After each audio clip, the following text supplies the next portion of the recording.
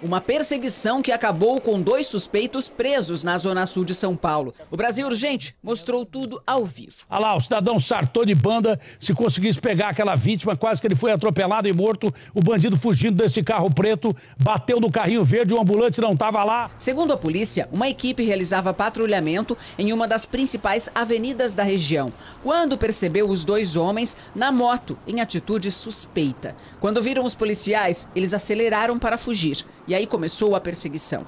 Um deles atirou contra os policiais. Alguns quilômetros à frente, eles caíram da moto. O garupa, de 26 anos, foi preso na hora. O piloto, de 39 anos, conseguiu correr. Vi um policial caindo na calçada, né? Na hora que ele caiu na calçada, já vi que já tinha assalto. Aí do nada, eu já vi, mano, vai ter tiro aí. Daqui a pouco, pá, pá, pá, pá, pu, pu, pu. Quando vai ver o moleque já saiu correndo, jogou o capacete pro alto. Datena, o piloto da moto estava armado e na fuga ele chegou a roubar um outro veículo. Rendeu o motorista, pediu para ele sair e assumiu o volante. O ladrão chegou a rodar alguns quilômetros, mas lá na frente acabou batendo em outros dois veículos e foi preso. De dentro do veículo, ele chegou a efetuar um disparo na tentativa de acertar os policiais que estavam tentando capturá-lo. Né? E o, o, motorista desse veículo, no momento de distração, abriu a porta do veículo e, e acabou se atirando do veículo, né?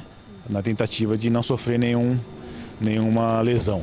Os dois presos foram levados para o hospital, pois ficaram feridos com a queda da moto. Em seguida, foram levados para a delegacia. Uma dupla já com que possui outras passagens pela polícia, armados com uma arma de fogo, uma arma real. Então a intenção deles com certeza era era um roubo de algum outro veículo e alguma outra motocicleta, ou, ou, motocicleta, né? Na zona leste de São Paulo também houve perseguição, mas de carro. Foi na Avenida Sapopemba. Segundo a polícia, eles avistaram um veículo com queixa de roubo. Então os policiais deram ordem de parada que não foi atendida pelo motorista. Ele acelerou para fugir, mas acabou perdendo o controle e bateu o veículo. Ele também foi levado para a delegacia. Agora a polícia está investigando se ele foi o autor do roubo do carro ou o receptador.